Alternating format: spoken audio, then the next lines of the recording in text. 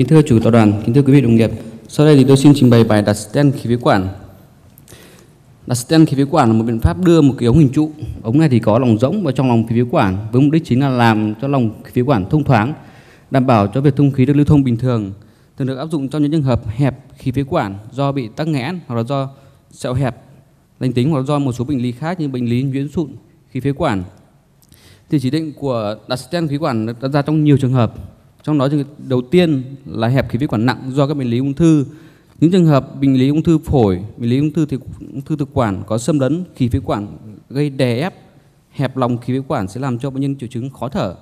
Và với những bệnh nhân mà khó thở như thế này, nếu mà không được giải phóng, không được khai thông cái đường thở bằng việc đặt một cái giá đỡ vào trong đó thì bệnh nhân sẽ không chịu được, không đủ thời gian để mà chờ đợi, chịu được các cái biện pháp điều trị, ví dụ như là hóa trị hoặc xạ trị à, một số bệnh lý khác như là hẹp khí phế quản lành tính ở những bệnh nhân mà thất bại với các biện pháp điều trị phẫu thuật hoặc là nong đoạn hẹp trước đó. Ví dụ như những bệnh nhân mà đã từng hẹp khí phế quản do lao hoặc là do đặt ống nội khí quản mà nong khí phế quản không ta không khai thông được cái đường thở làm cái đường thở này hẹp lại thì việc đặt stent khí quản là đặt ra trong trường hợp đó. Rồi những bệnh nhân nhuyễn sụn khí phế quản những trường hợp mà có giò khí quản thực quản hoặc phế quản thực quản rồi những bệnh nhân có hẹp miệng nối phế quản sau khi ghép phổi xong, thì đó cũng là một số cái chỉ định trong đặt stent khí phế quản. Ví dụ như trong các trường hợp ở trên hình quý vị có thể thấy ở cái slide bên, cái hình bên tay trái là một trường hợp bệnh nhân có ung thư thực quản. Và trong trường hợp này thì khối u nó phát triển, nó xâm lấn vào trong lòng của khí quản, nó làm cho hẹp cái lòng khí quản rất là nặng. Ở trên cái hình cắt ngang, các chị thấy là cái cái phần này là cái phần của khí quản. Cái phần mà khí quản nó còn lưu thông được thì có diện tích rất là nhỏ trên cái hình cắt đứng dọc thì các anh chị có thể thấy là cái diện cái đường cái phần mà hẹp nhất của khí quản đây chỉ có khoảng 1,2 mm thôi. Thế thì trong trường hợp này chỉ cần một cục đờm mà nó bắn lên là bệnh nhân sẽ không thở được. Và vì thế trong cái trường hợp này thì mình có chỉ định là khai thông đường thở và sau đó sẽ đặt một cái stent vào trong lòng của khí quản để đảm bảo cho cái việc lưu thông khí là bình thường mà bệnh nhân có thể thở được. Cái slide bên tay, à, cái hình bên tay phải là một nhân khác, bệnh nhân này thì có cái ung thư phổi di căn mà trung thất thì khối u này cũng đã phát triển và nó xâm lấn vào cái phế quản góc bên phải và đoạn dưới một phần ba dưới của khí quản gây hẹp nặng lòng của khí quản. Và cái phần đường kính mà nhỏ nhất của cái khí quản đoạn dưới này khoảng 2,5 mm thôi. Và trong trường hợp này thì sau khi mà mình khai thông cái đường thở này ra thì cũng cần đặt một cái stent để đảm bảo cho cái đường thở nó thông thoáng. Thì sau đó bệnh nhân mới có cơ hội để điều trị các cái liệu pháp khác như là hóa trị hoặc xạ trị đây là một số cái trường hợp khác. Bệnh nhân này thì có một khối u thực quản ở đoạn 1 phần 3 trên và khối u này thì nó có biểu hiện là nó xâm lấn, nó sùi lên trong lòng khí quản như thế này và gây làm cho hẹp nặng đường thở. Thế thì trong cái trường hợp này sau khi mình khai thông cái đường thở này ra thì nó sẽ có nguy cơ là gì ạ? Cái khối u nó tiếp tục nó phát triển, nó đẩy lùi lên và đương nhiên là đường thở sẽ bị hẹp lại. Thế thì trong trường hợp này mình cũng có một chỉ định là đặt một cái stent vào đây để đảm bảo cho cái cái thông khí nó được bình thường cái hình bên tay phải là một bệnh nhân khác, bệnh nhân đã từng được chuẩn đoán là ung thư phổi. Mà bây giờ thì đến viện mình có tình trạng khó thở. Và trên cái kết quả chụp CT lồng ngực cho thấy là hẹp khí quản cũng như là khí quản nó bị xoắn vặn rất là nhiều. Và trong trường hợp này thì sau khi mà khai thông được cái đường thở này thì cũng nên đặt một cái stent khí quản để đảm bảo cho cái đường thở nó được thông thoáng. Rồi cho các trường hợp khác, những trường hợp mà dò khí quản thực, khí quản thực quản hoặc là phế quản thực quản thì trong các trường hợp này, các cái dịch tiết dịch tiết, dịch thức ăn từ dạ dày có thể trào ngược qua cái lỗ giò này vào trong lòng của khí quản phế quản, vào phổi, gây nên tình trạng viêm phổi tái diễn. Bệnh nhân có thể có sẽ ho, kéo dài, sốt ho khó đờm rất nhiều. Thì trong cái trường hợp mà có cái lỗ giò của đường thở với đường tiêu hóa như thế này là cũng một chỉ định mà chúng ta đặt stent để bít cái lỗ giò đấy lại, làm cải thiện chất lượng cuộc sống của bệnh nhân. Trường hợp tiếp theo là trường hợp bệnh nhân mà có nhuyễn sụn khí phế quản. Thì trong cái trường hợp mà nhuyễn sụn khí phế quản này, ở cái thì hít vào, thì khí quản có vẻ là như bình thường. Nhưng ở thì thở ra, cái cơ của khí quản, cái sụn khí quản nó bị sập xuống, làm cho đường thở bị hẹp rất nhiều. Và trong trường hợp như thế này bệnh sẽ khó thở. Đặc biệt là gì ạ? Nếu mà bệnh nhân khó thở sẽ khó thở nhiều hơn khi mà người ta nằm xuống và khi nằm có thể nghe tiếng rít rất là lớn.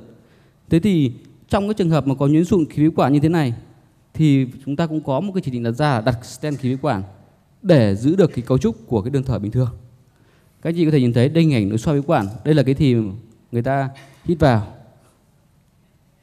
đây là bắt đầu thở ra và đây thì thở ra phía sau các chị thấy là khi mà người ta thở ra thì cái đường thở nó bị hẹp xuống rất nhiều đúng không ạ thì trong trường hợp này thì một biện pháp điều trị triệt để của bệnh đó chúng ta sẽ đặt một cái stent khí quản stent khí quản thì nó có một số cái chống chỉ định, bao gồm các chống chỉ định liên quan đến vấn đề của gây mê toàn thân hoặc là chống chỉ định của nội soi khí quản. Chống chỉ định ở những bệnh nhân có rối loạn đông cầm máu, bệnh lý tim mạch nặng, suy tim như một cái tim cấp hoặc bệnh nhân có tăng động mạch phổi nhiều. Stent khí quản thì có khá là nhiều các loại stent khí quản các cái stent khí quản trước đây chúng ta hay dùng đó là các stent silicon stent kim loại hoặc là stent line đó là stent phối hợp giữa silicon và kim loại và cái hướng mới đang nghiên cứu là các stent in 3D hoặc là các các stent đặt là tự phân hủy sau một thời gian. Thế thì stent kim silicon thì khải đầu tiên là người ta có cái stent Montgomery. Cái stent này thì có hình dạng hình chữ T, có hai đầu đầu thẳng, trục thẳng này sẽ là đặt vào khí quản. Và cái đầu chữ T này nói ra, cái phần này sẽ qua cái lỗ mở khí quản của bệnh nhân. Thì đây là cái stent được đặt vào cái thời kỳ đầu tiên. Sau đó thì khi mà kỹ thuật của stent phát triển lên thì người ta đã phát, nghiên cứu ra một số các loại khác. Ví dụ ở phía trên các chị thấy là stent silicon hình chữ Y. Thì cái stent silicon hình chữ Y này thì được cắt một cái nhánh ở bên bên trái rồi. Và cái stent silicon này thì nó trơn nó không có các cái gai. Thì sau khi mà đặt cái stent này một thời gian người ta thấy là nếu mà nó không có cái gì nó giữ thì stent này nó có thể nó sẽ bị di lệch. Và như thế thì người ta thiết kế thêm là gì ạ? Thiết kế thêm các cái gai ở trên cái thân stent. Và khi mà có cái gai trên thân stent này thì nó sẽ bám vào cái cái thành của khí quản rất là chắc và cái nguy cơ mà nó di lệch nó sẽ ít hơn. Và bên dưới là cái stent hình chữ Y, chữ, stent đuôi bông hình chữ Y y dài. Thì với cái stent này thì nó khá là tốt và cái nguy cơ di lệch thì nó nó rất là ít. Thì các stent silicon này thì nó có một cái ưu điểm là nó có thể đối kháng lại tác dụng, tức là sức ép của khối u giữ đường thở thông thoáng cũng như là nó tương đối bền. Và với một stent silicon này có thể đặt khoảng hơn 500 ngày tức là mình có thể giữ được khoảng hơn 500 ngày. Nó ít nguy cơ mọc các cái u hạt hoặc là cái ung thư nó không thể thâm nhiễm vào cái stent được. Tuy nhiên là cái u hạt này có thể phát triển ở phía trên hoặc là phía dưới của stent, nó gây bít đầu của stent. Và cái stent silicon này thì nó cũng dễ dàng được lấy ra hoặc là chỉnh vị trí của stent sau khi chúng ta đặt. Stent tiếp theo là stent kim loại. Stent kim loại thì đây chúng ta có cái stent kim loại à, không phủ, tức là chỉ có thuần túy bằng kim loại thôi thì stent kim loại này thì nó có các cái kiểu có hình là dạng lưới. Thì với stent kim loại này thì nó có một cái ưu điểm là cái cái sức cái sức căng của nó khá là tốt. Cho nên khi mà đặt bung ra thì nó sẽ giữ được cái khẩu kính của cái đường thở rất là tốt. Tuy nhiên thì nó có một số các cái nhược điểm, đó là nó sẽ, các cái tổ chức hạt nó sẽ mọc lên nhiều hơn so với cái stent dạng silicon thứ hai là cái niêm mạc của cái phần của khí phế quản hoặc cái u nó dễ dàng nó, phát, nó xuyên qua các cái lỗ thủng trên cái trên cái stent này. Nó vào trong lòng stent. Nên nó thâm nhiễm cái niêm mạc ở trong lòng stent. Cái thứ ba là với stent kim loại này thì đặt vào thì dễ nhưng mà rút ra thì khá là khó. Bởi vì các cái mắt lưới thì có các cái ngạnh mà nó sẽ bám vào trong lòng khí quản. Và nếu mà rút ra thì nó có thể gây nên tổn thương niêm mạc khí quản thậm chí là rách niêm mạc của khí quản. Bên cạnh là stent line giữa giữa giữa kim, stent kim loại cũng như là silicon thì với cái stent này thì có các cái vòng bằng kim loại thiết kế giống như các cái vòng sụn và được phủ bên ngoài là silicon thì với cái stent kim loại này nó khá là vững chắc, bởi vì cái vòng kim loại nó rất là cứng. Mà như thế nó có thể giữ được cái khẩu kính của cái cái khí quản rất là tốt và thường đặt, áp dụng trong những cái trường hợp mà bệnh nhân có cái u thực quản nó rất là cứng, nó đẩy về sau ấy, thì cần những cái stent mà nó có cái sức căng lớn này để nó giữ được khẩu kính của đường thở thì quy trình đặt của stent khí quản thì bao gồm khá là nhiều bước. Trong đấy cơ bản đầu tiên là chúng ta sẽ phải chuẩn bị bệnh nhân, chuẩn bị dụng cụ, cũng như là chúng ta chuẩn bị stent.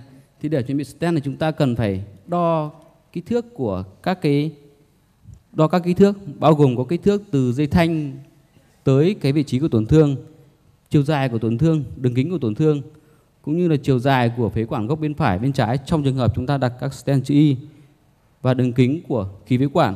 Thì khi mà chúng ta đo các cái được kích thước này này sẽ giúp chúng ta định hình là chúng ta sẽ đặt cái stent gì. Ví dụ nếu chúng ta đặt một cái stent dạng chữ Y chẳng hạn, thì chúng ta cần phải biết được là cái đực cái stent mình cỡ là bao nhiêu, đúng không ạ? Và biết được cái đường kính của khí quản là bao nhiêu. Vì nếu mà chúng ta đặt kích thước mà nó stent nó nhỏ quá thì nó có thể di lệch được. Hoặc là gì ạ? Nếu mà chúng ta không biết được chiều dài của phế quản gốc, phế quản gốc phải và gốc trái như thế nào thì chúng ta sẽ không cắt được cái cái nhánh của chữ y. Vì mỗi cái nhánh chữ y này thiết kế của họ là khoảng 5 cm mỗi nhánh.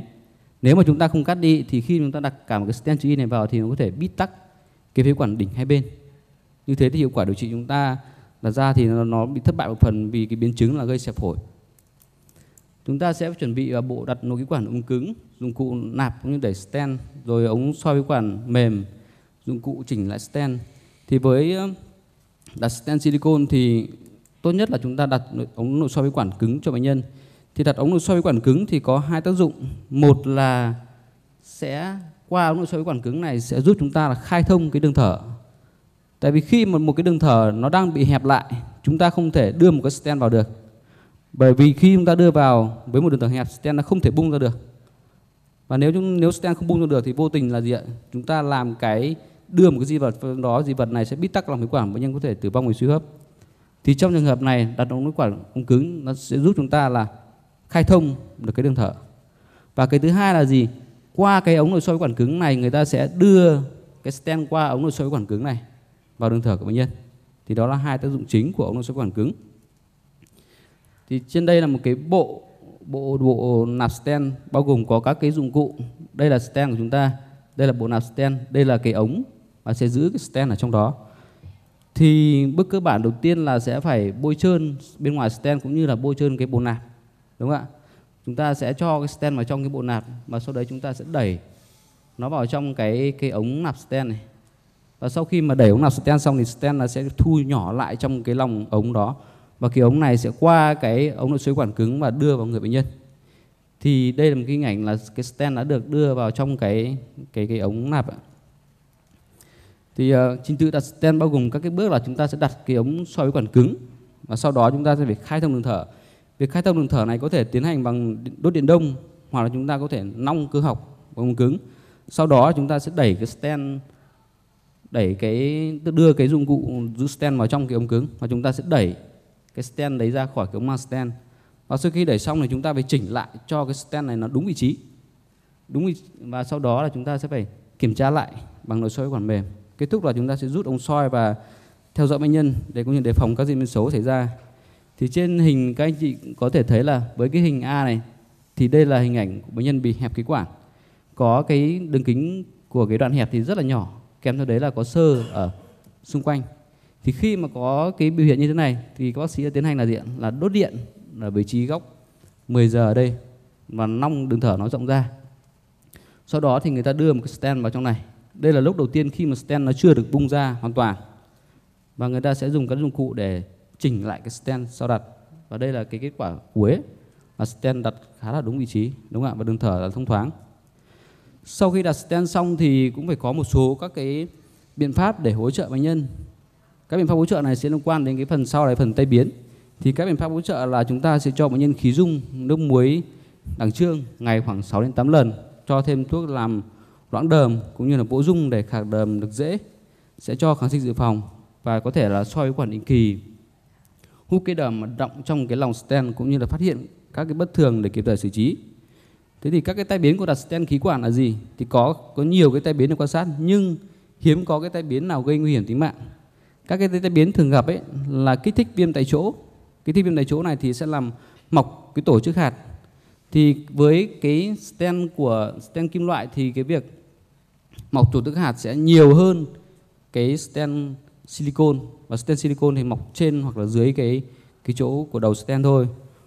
Tai biến thứ hai là tắc stent do tăng tiết các dịch nhầy trong lòng phế quản, hoặc là khối u có thể nó sẽ phát triển.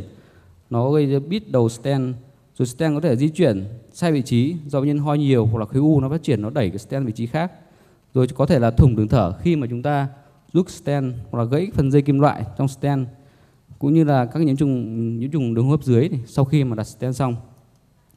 Thì đây là một số các cái cái biểu hiện. Ví dụ như trên các cái bốn cái hình này thì thấy một cái điểm chung là có khá nhiều mủ bám vào trong lòng stent. Ví dụ cái cái hình A có khá nhiều mủ sẽ bám vào trong cái thành bên phải của stent. Mủ thì rất là đục. Hình B là cái mủ nó bám xung quanh và xung quanh stent tức là nằm giữa stent với cái lòng của khí quản và đây là hình C thì cũng có, có rất là nhiều mủ đúng không ạ? Và khi mà hút ra thì mủ đặc quánh như là dính. Thế thì để mà hạn chế được cái mủ như thế này thì chúng ta sẽ cho bệnh nhân khí dung cái nước muối. Để sao cho cái dịch nó bám trên này nó nó nó loãng bớt này. Thứ hai chúng ta cho cái thuốc long đờm. Chúng ta dự phòng một kháng sinh. Và chúng ta vỗ dung để sao người ta khạc cái này ra nó dễ. Tại vì khi mà chúng ta phủ một cái stent ở trên một cái đường thở rất dài thì nó sẽ gây cái rối loạn cái cơ chế là là là làm sạch dịch tiết của cái đường thở, đúng không ạ? Thì vì thế nó rất dễ ứ động các cái cái dịch mủ như thế này. Thì cái biện pháp của chúng ta là hỗ trợ là làm cho cái dịch này nó loãng ra và hỗ trợ bệnh nhân là ho khạc để tránh cái biến chứng xảy ra là ứ mủ nhiều như thế này. Cái nguy tai biến thứ hai đến là cái stent nó bị di lệch. Thì trên hình các anh chị có thể thấy là với cái stent đọc, đặt ở trong phế quản gốc bên trái thì nó bị di lệch và nó sẽ đẩy lôi một phần vào cái phần của, thành của khí quản cũng như là hình đây là cái stent kim loại thì nó lại thay đổi vị trí và cái stent này nó rơi vào trong cái khoang màng phổi. Và bệnh nhân này người ta phải mổ để lấy cái stent ra. À, bên ba hình bên dưới là các chị thấy là ở đây chúng ta có đầu stent và phía trên đây là mọc các cái tổ chức hạt cũng như là dưới stent tức là tổ chức hạt nó sẽ mọc ở trên và dưới. Và cái hình tiếp theo là cái tổ chức hạt nó không mọc trên và dưới mà nó mọc ở bên trong tức là gì? Nó chui ở bên trong của cái lòng stent này, nó gây tắc nghẽn đường thở. Và với những bệnh nhân này thì người ta phải tháo cái stent này ra. Vì nếu mà không tháo thì đương nhiên với cái cái tổ chức hạt mọc này thì bệnh nhân cũng bị hẹp khí quản lại và cũng có thể tử vong vì tắc khí quản. Thì sau đây em xin trình bày một số ca lâm sàng đã được đặt stent khí quản tại trung tâm hấp. Thì cây đầu tiên là bệnh nhân nữ 42 tuổi, vào viện mình khó thở. Bệnh diễn biến chưa vào viện khoảng 2 tháng. Bệnh nhân có các biểu hiện là khò khè khó thở thì đã đi khám mà được chuẩn đoán là hen phế quản điều trị bằng corticoid nhưng mà không đỡ. Cái tình trạng khó thở của bệnh nhân này ngày càng tăng dần và sau đó thì bệnh nhân có các biểu hiện là ho máu và đến với trung tâm hấp. Thì khi đến với trung tâm hấp thì bệnh nhân có cái tình trạng là khó thở và nghe tiếng thở rít của khí quản ấy. Và các cái xét nghiệm có thể thấy là nó tăng tăng CO2 một phần là CO2 là 56 chức năng hấp thì có tăng nghẽn nặng đúng không ạ? Và bệnh nhân được uh, chụp CT ngực thì thấy là có một cái khối u phổi ở bên phải cũng như là một khối rất lớn ở trung thất. Khối lớn này thì nó đã xâm lấn một phần vào một phần ba dưới của phế quản của khí quản và xâm lấn vào phế quản gốc bên phải làm cho tắc nghẽn nặng cái khí quản như phế quản. Và cái đường kính chỗ hẹp nhất của khí quản là 0,25 cm. Thì với bệnh nhân này thì đã được nội soi phế quản ống cứng can thiệp. Thì thấy là cái khối u nó chiếm gần hết chiếm gần hết lòng khí quản và ông soi chỉ đến đây thôi và không thể đi sâu hơn được nữa. Thế thì trong trường hợp này đặt ra là gì ạ? Là chúng ta phải khai thông đường thở.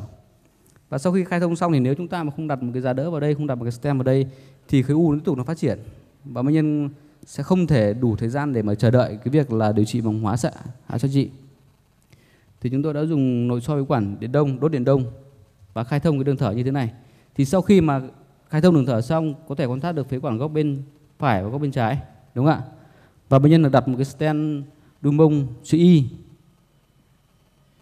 Các anh chị có thể thấy hình cuối cùng là cái stent này đã được đặt vào hai nhánh của của phế quản gốc phải như gốc trái. Và bệnh nhân thì hiện tại bây giờ vẫn còn sống và vẫn đang điều trị tiếp cái ung thư phổi.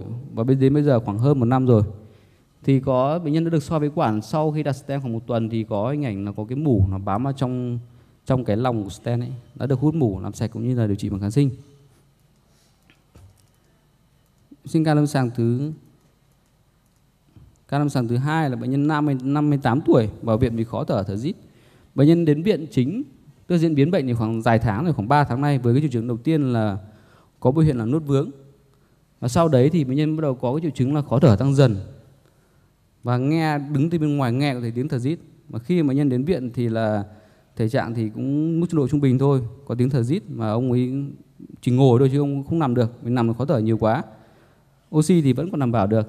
Thì trên cái ảnh các lớp vi tính là cái khối u rất lớn của cái thực quản đoạn 1 phần 3 trên gây chèn ép vào khí quản và cái đường kính mà cái chỗ nhỏ nhất ở đây đo được là 3,7 mm và cái chiều dài của khối u này khoảng hơn 2 cm thì với bệnh nhân này đã được nội soi với quản nội soi với quản ống cứng thì phát hiện là cái khối từ sau nó để gồ lên mà nó thâm nhiễm vào cái niêm mạc của khí quản này, nó gây hẹp nặng của khí quản và ống soi thì không thể đi xuống bên dưới được. Thế thì đứng trước một cái trường hợp này đặt ra là mình sẽ phải khai thông được cái đường thở để đảm bảo cho bệnh nhân thở được đã, đúng không ạ? Nhưng mà sau khi khai thông đấy, chúng ta phải đảm bảo vấn đề nữa là cái đường thở bệnh nhân phải đủ, tức là phải có phải có thêm thời gian để người ta điều trị thêm cái bệnh lý nền ví dụ như bệnh này bệnh này có ung thư thực quản thì người ta phải thêm cái thời gian điều trị ung thư thực quản đúng không ạ? Thì trong trường hợp này là chúng tôi quyết định là khai thông đường thở cũng như đặt một cái stent vào trong lòng khí quản của bệnh nhân. Thì đây là clip chúng tôi đã khai thông đường thở bằng việc là đốt điện đông.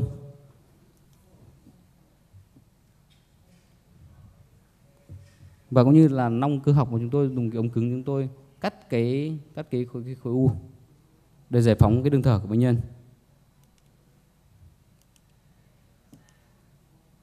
Và đây là sau khi mà đã cắt khối u xong, thì đường thở chúng ta thấy là có thể nó đã được khai thông và thông thoáng hơn rồi, đúng ạ? Và đã cầm cầm máu bằng điện đông. Và sau đó chúng tôi quyết định đặt một cái stent đường bông chữ Y vào trong lòng khí quản của bệnh nhân để giữ cho cái đường thở nó được thông thoáng. Và sau khi mà đặt stent xong thì lâm sàng bệnh nhân cải thiện rất là tốt. Khó thở triệu chứng giảm ngay và không còn nghe thấy tiếng rít của khí quản nữa. Đây là stent chữ Y ạ. Đây là nhánh bên phải thì nhánh này chúng tôi cắt là để không bị xẹp không bị bít từ cái thủy đỉnh ở bên phải. Đây là nhánh trái. Vâng xin trọng cảm ơn.